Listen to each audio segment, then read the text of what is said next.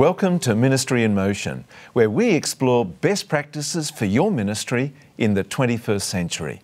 I'm Anthony Kent. And I'm Derek Morris. And whether you're a pastor of a large congregation or maybe a country church, a lay leader in your local congregation, uh, today's topic will be a blessing to your life and ministry. It is, Derek. Being an astute leader in dangerous times. I think those of us who've been involved in ministry in any context can recognize that there are times that uh, we, need, we need help. Exactly. Um, just being aware of the environment, what's happening around us, and adjusting our leadership appropriately in, those, in that environment.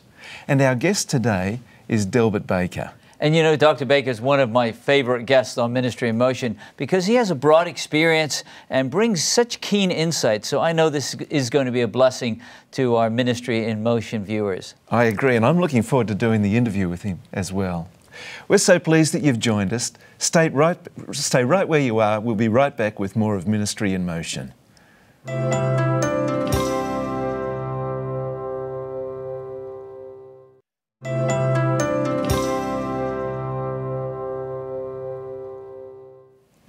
Welcome to Ministry in Motion. Our topic today is being an astute leader in dangerous times, and our guest, Dr. Delbert Baker.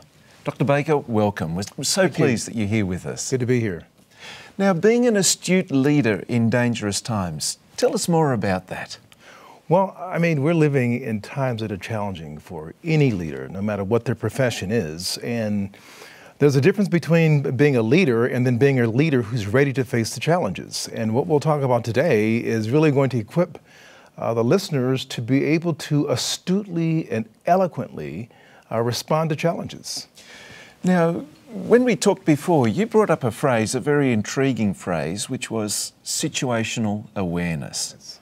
What, what is that? What does it mean? Well, really, it's a powerful concept, uh, Anthony. It's, it's one that really takes the best that we have and really focuses our skills and abilities on the situation that we're in at a given time. Uh, it's a term that's really borrowed from the military, so it's not really original with Christian circles or whatever. It's like the soldier in the battlefield. If he's not aware of a situation, he can get totally caught off guard and, mm. and face calamity and danger uh, immediately. So we're taking that concept and applying it in the professional or the spiritual sense situational awareness. Right. So it's being aware of our environment and how to respond appropriately to the changes in our environment? Well, it's really three things. First of all, it's scanning the environment. In other words, you've got to train your thinking to be able to look at where you are and what's going on around you. Scanning is one. Mm-hmm. And then mm-hmm. quickly after that, you want to make the proper judgment and then be able to decide what you're going to do and then do it. Okay, okay. so uh, in that concept is wrapped both the scanning, the judgment, and then the action, okay? And so we're saying that in the context of the church or, or a person's profession, you know, you can be in an environment and sometimes we're absolutely unconscious of what's going on around us. And as a result of that, we just get blindsided. Mm, mm. So, how is that helpful as a leader today? Particularly, yeah, in leadership, how is that helpful today? Okay, I guess if we want to make a graduated scale, I mean, you have the, let's say maybe the low rung leader that mm-hmm. basically is just making it. Then you've got the leader who's, let's say the average leader, who's pretty good. I mean, he's not good, not bad. But then you've got an outstanding leader, okay, who excels at what they're doing. And they're not only meeting the challenges, but they're getting ahead of the situation, okay? I'm saying that situational awareness, if one can develop that ability to scan, judge, and act, will put them in the higher rungs of leadership so they can kind of get ahead of the curve rather than simply always reacting to things that are happening around them. So they can see what's coming. Right. And there's some sort of predictive aspect to this. They can see what's coming, but they can also see what's happening. Mm-hmm. I mean, it's mm-hmm. like, for example, if, if a lady goes out uh, in a dark parking lot at night okay, by herself. Mm. Uh, if she doesn't have situational awareness, she's going to go out there and she's going to, right there in the darkness of the parking lot, bumbling through her purse trying to find her keys. Uh, leaving herself a very vulnerable target to people who are around. Mm. Okay, but if she is using the ability or the uh, the ability to use situational awareness, she will be able to kind of scan her environment and say, "Listen, I don't want to put myself in that environment." So she says, "It's dark, it's dangerous. I'll get my keys before I go there." So when she goes there, she quickly gets in the car, locks the door after her, and she's off. Okay, so it's really kind of reacting to where you are, but it's also protecting your assets, your person, or in the church uh, case of a pastor, uh, the church or wherever they are. So it's a very practical concept, and it's one that a person can use, but they really have to kind of learn it. Okay. Well, you've, you've led us into a pastor or a church leader using it. How, how do you see a pastor or a church leader using this gift? Okay, well, I, I guess um, it's, it's a wide, it's a very, what they call a very heuristic uh, skill, meaning it's got great potential, it's got great possibilities. Mm-hmm. It's, it's all according where you want to focus your situation awareness on. Uh, I, I, have what I kind of refer to as a dimensional approach to situational awareness, and, I, and I'm using this in a Christian sense. And the four dimensions mental, physical, social, spiritual in any one of the realms you can take it. I mean, like for example, if let's say to be physically so situationally aware, mm-hmm. you're listening to your body.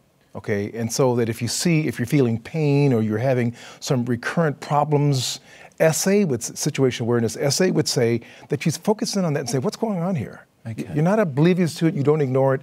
Uh, if you take it socially, if you're constantly running into problems on your job or at home or wherever, and it's kind of a constant thing. I mean, situational awareness would say to you, Am I doing something? Am I causing this? Mm. Is it only my environment? Mm. So you begin to look at yourself and check out what's going on around you.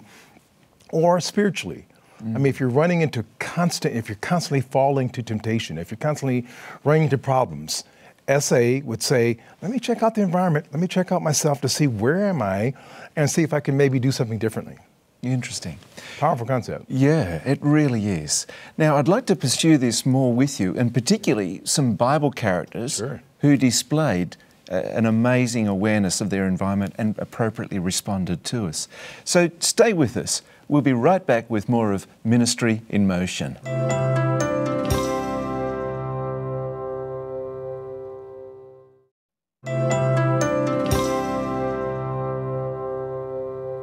Welcome back to Ministry in Motion. Our guest today is Dr. Delbert Baker, and we're looking at astute leaders in difficult times.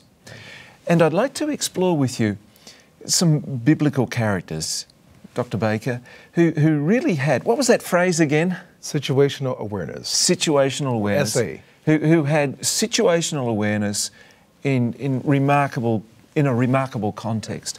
And the, uh, out of the Old Testament leaps the story of David and Abigail and her husband, of course, Nabal. Nabal. Yes. Yeah. So, you know, we, we know that David reached out to, to Nabal, and Nabal was just, he was difficult and cantankerous. Oblivious. e- exactly. Totally unaware of right. an appropriate behaviour. But Abigail, tell us a little about Abigail. Well, you know, Abigail was a classic example of a person who is using great SA skills, situational awareness skills. You know, the sons of Issachar, the men and women who understood their times. Mm. Well, that's really what a person who exercises situational awareness does. They understand the times they're living in and their environment. Yes. And so I, I think from this this particular program, if the listener can just simply walk away with one basic principle, I'm going to pay more attention to where I am and what's going on. And that's what Abigail did. Yeah. She was aware of the dynamics of David coming in and her husband who was just so churlish and how he responded. And she adroitly and very just appropriately got in there and saved a very, very messy situation by using good skills of understanding what's going on around them, making a judgment, and then doing something about it. Mm. Abigail's a great example. Now, David was obviously part of that whole event that took place. But other times in David's experience, and David's life, he wasn't so aware, was he? That's correct. That's correct. You, you know? Well, we, and David's a classic a, a example of a leader who who has these great skills, but they often don't use them. They can turn them on and turn them off. Mm. Like we see great leaders all the time who are just stellar. I mean, they're just brilliant. And then they make a stupid mistake, just yeah. a flat out stupid mistake. Why do they do that? Well, they lose sight of their surroundings. They become very proud, very arrogant, very caught up in themselves. And as you, you were saying during the break, uh, they really don't use the skills of Bible study and prayer and keeping focused on what's going around, being mindful of what's happening around them. So I think Kent, that's a key principle. Yeah, and really, the, the Christian has a, a wonderful resource available to them with, with prayer and the Holy Spirit that, that can guide them and almost give them an intuitive response um, through the power of the Holy Spirit to, to lead them. Right. And, and, I think prayer and Bible study leads them to, as Proverbs brings out so many times, be quick to listen and slow to speak. Mm. So, good SA skills also uh, implies that if I'm in a situation, I, I want to check it out. Yeah. If you're in a church board, if you're in a church business meeting, if you're in a professional setting, don't talk so much. Mm. Listen and try to pick up what's going on around me mm. so I can be aware of the situation and then through the prompting of the Holy Spirit or through divine insight or your own intelligence, you mix that together and come up with the appropriate response. So it's, it's something that it doesn't come really naturally with many people. Yeah. You know, like, like you mentioned Peter earlier. Mm. You know, Peter was quick to speak, slow to listen. Mm. As a result, he got into many problems. Yeah. And so it's kind of a, incumbent on us just to just stop and think about it. Why don't we unpack some of Peter's experience? Mm. I'm thinking of the fireside experience that Peter had. Unpack that for us, Delbert. Well, you know, Peter's mistake there was not being aware of himself initially. I mean, if he had listened to himself before and saw his proneness to kind of have the answer, to be the know it all, to be the one to quick to jump out to lead when he really wasn't ready. Or even listening to Jesus because Jesus had given him a message. He did. He did and he tended he just seemed to flat out ignore it. Right. And then so when everyone was running i think he felt a little nervous about the, what happened in gethsemane and then he wanted to follow jesus was by the fireside with the maid. And she says look you're like one of these guys you know you sound like him you talk in fact i think i've seen you peter. Yeah. And he swears the first time and says no i don't know anything about him. Well that's like a warning to us. If we see ourselves react in a certain situation that should be a key to us that that's a weakness of mine. Yeah. a church leader a pastor if they're in a board meeting and somebody presses their button and they get angry and upset, whatever, that's a signal, hey, I better watch out, like Peter should have done. He didn't. He left himself there. She asked him the second time, the third time, and then he flat out, you know, denied his Lord, and, and he forever was um, sensitive about it. But the good thing about that story is he did learn his lesson. Absolutely. And he became a great leader, which says to us that we may blow it at times, but there is hope for us, there is salvation, there's mercy, that kind of thing. Exactly. You know, I think of the example in, in Acts chapter 3, where Peter and John went into the temple and yes. uh, they, they healed the, the, the crippled man. And then the way that they appropriately responded to that environment, it was just wonderful. Right. What do you mean by that? Tell me, tell me what you mean by that. Well, the, the, the, the crowd erupted. He, he seized the opportunity to speak to the people right, right, and to good. share the gospel with them. This was a golden it's opportunity. a golden moment, yeah, that's yeah, good. That's and he good. was led by that, right. that situation and, and seized it. I also think of Acts chapter 10, where the Lord prepared him for a knock at the door by some Gentiles, gave him a, a, a vision of the clean and the unclean animals coming down, gave him a clear lesson, which prepared him as a leader to appropriately respond. Well, well, you know, Kent, I think it's a, it's a brilliant point because it really brings out that SA can be enhanced by the revelations from God, yeah. by, through prayer and Bible study again, that as you read the Word, uh, the Bible makes us aware of the times we're living in and causes us to be astute and do something about it. If I can say a quick thing, and that is Jesus, when he was talking to the disciples, he showed them the temple. Remember that? And said, yes. you know, This temple's coming down. And they said, Lord, it can't happen. But he says, It's coming. He says, In fact, you should watch and pray, watch the signs, because it's not going to be here indefinitely.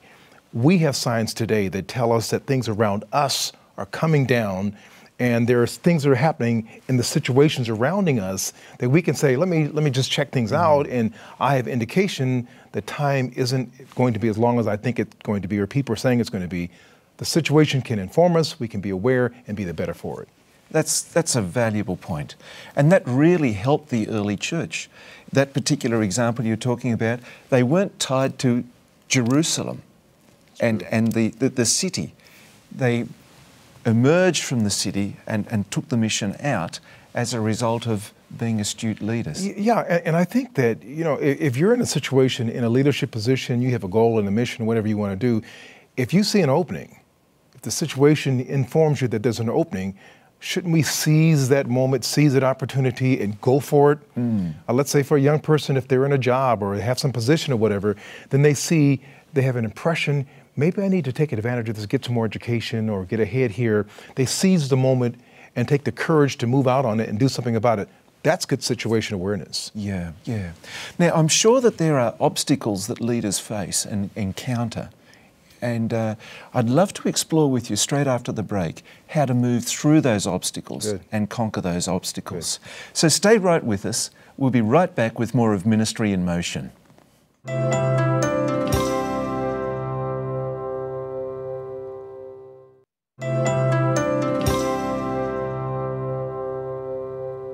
Welcome back to Ministry in Motion, where our topic is is being an effective leader in dangerous times, and we're particularly exploring situational awareness with Delbert Baker. Delbert, what are some of the obstacles that a leader can have in working with situational awareness? That's a great question. Probably the greatest obstacle is themselves. Uh, if, okay. if people allow themselves to get in the process and if you're not even thinking about it, often you're unconscious. That's probably the greatest obstacle, just being unaware of even the concept of SA. Uh, that's why, in this case, to be forewarned is to be forearmed. If you can just know about it and think about it, you may not always do it, but it, you, at least you know about the concept that that is a skill, a talent you can use. So, can I just butt in here? Is it mm-hmm. ignorance or is it just being closing your mind to the outside and just being so determined that whatever happens, you're just going to. I, I think the first way. one is, is ignorance. I mean, the fact okay. that a lot of people just don't think about thinking. Right. They just don't take the time to think. They mm-hmm. just want to talk and do. Mm. So you got to think first, and then. Uh, but there are some like that after they do know the concept, but they become so full of themselves or what they want to do, they become somewhat blinded mm. or tunnel vision, and they just go for what they want, regardless of whatever anyone's saying around them. And so that's a problem. But let me just give you a little cute little acronym that that they have found to be very helpful in either helping or hindering a situation awareness. It's called HALT, H A L T versus hunger. H stands for hunger. Right. That if a person's not in good physical shape, if they're bad off physically, often our resources are low and we're not being aware because we're just tired, worn out, hungry, just disoriented. That's one. The second one is is the H stands for H A is anger. Okay. Uh, if someone presses your emotional button, I'm going to write these and, down. And they get you upset, Kent. I mean, right. we all know it uh, that can throw us off, and then we become blinded. In, you know, in terms of what's going on around us, we just just do something stupid or foolish or whatever the case may be. Now, that anger is not only just the emotion being mad, but is also talking about emotional. Period. Okay, you mentioned David in the last segment. Yes. Well, David's uh, emotion then was lust. Mm. He became so passionate when he saw uh, Bathsheba that he no longer was aware of the situation. He forgot that he was he was king. He forgot that she was another man's wife. He forgot the fact that her husband was one of his generals. Yeah. Fighting for him in the field when he should have been fighting as king. He yeah. lost all that with it, the emotion at that time. So hunger, anger. The L stands for loneliness. Okay. A lot of times we, we just have a strong need to be with people or to be loved or to be popular or to be whatever. And it causes us to lose our perspective. So that's a key one there. And then finally, the last one is being just flat out tired. Okay. People don't really understand the value of, of sleep and physically rested. Uh, I, I happened to hear what one of your programs on reclaiming lost members, and I heard you talking about people being tired or weary or worn out. Mm. But that, that works with so many areas. If we are in poor shape, Yes. We don't get it a lot of times. We yes. our resources are low and we miss moments. So those are some key areas that would help us that if we just do some of the basic things to stay in shape and be aware that will help us in our situational awareness. You know, it seems to me, Derek, uh, uh Delbert, as I look through this list, hunger, anger, loneliness, tired, mm-hmm. this all puts us in a vulnerable situation. It does. And behind a, well, in an embarrassing situation right. as well. Yeah, yeah. And I just think if a leader is is aware of this and they I- i'll take myself for example. I, I know there's certain things i know i have certain buttons okay? I understand that. And i've seen over the years as a result of being in leadership positions and uh, just being sensitive. So I know that I, I want to be sensitive if I get in a certain kind of situation. So I kind of put a double guard on then. Yeah. And so that helps me. So if a person's aware of themselves, taking heed, like Paul says to yourself, lest you fall, Yeah. that helps them to be aware when they come to situations and they're just the better off for it. Let's follow that point from the Apostle Paul a little further. Mm-hmm. What are some of the sorrows that are, can, can occur when we neglect our environment Yeah. or, or don't practice situational awareness? well, this is, you know, it just, again, it goes to the dimension you're dealing with. Physically, if we're unaware, we can have a crisis and have some terminal situation we're not aware of that if we caught it earlier, we could have done something about it. Socially, the situation is that we're blinded, we can turn people off, lose friends, uh, destroy family relationships, and not even be conscious of it. You know, you, you take, for example, uh, uh, mentally, uh, being slothful or just being weak, not being keen and on top of our game because we're not astute, we're not paying attention to where we are mentally. And of course, spiritually, we can be growing further and further away from God and then not even be aware of it. We're not aware of the situation because we're just not in tune. You know, one of the frightening things is, is it's unnecessary. We don't have to go through these. They're not imposed upon us. It's something by our neglect or our lack of awareness we could have totally avoided. Yeah, yeah. uh, You know, that's a that's a good point, and and I guess it's it's one that we all deal with because how many times do we know something and we don't do it? So even as we're kind of talking about this great concept here, situational awareness, uh, it's easy to talk about it, but I must confess it is a it is a skill and something one must work on to be habitually practicing it. Okay, and I'm happy that in the Christian experience, in the Christian context, there's grace, so that when we do blow it. Yeah. You know, there may be consequences, Yeah. but there is grace. God will not only forgive us, but He will help us to extricate ourselves from that hole that we slipped into. And so there's hope after kind of being situationally apathetic, Yeah. you know, whatever. So we can come back and pull back from it Excellent point. by the In- grace of God. In 30 seconds, what are some of the outstanding benefits of practicing situational awareness? Well, you can be exceptional. You can be above average in any of the four dimensions if you practice situation awareness. And Ellen White talks about one of my favorite authors in the book Confrontation. She talks about stellar Bible characters like Enoch and Elijah and various people who really at the top of their spiritual game. That's what we could do. If we can increase our SA in whatever dimension, mm. we can be better, we can go beyond where we are, and not simply be satisfied with a whole hum spiritual or everyday existence. Hmm. Dr. Delbert Baker, thanks so much. Thanks for coming on Ministry in Motion. Thanks for sharing these, these pearls. and we'd like to thank you for joining us as well. If you've enjoyed Ministry in Motion, we'd like to share a wonderful resource with you as well. Ministry. I guess you can pick the connection between Ministry in Motion and Ministry the Journal. If you're a pastor watching this program and enjoying it, we'd like to invite you to our website, ministryinmotion.tv. And there, you may be eligible to discover how you can receive a complimentary subscription to Ministry Magazine. This will come to you six times each year, every second month, and it'd be a pleasure to send this to you. If you're a lay leader or an elder, come and visit ministryinmotion.tv as well, because we'll have some other resources there for you that will bless your ministry and support you in your ministry. Also, on our website at Ministry in Motion, we, we have a vast array of other resources. Come and visit us, write to us, send us your feedback. But make sure you're with us next time on Ministry in Motion.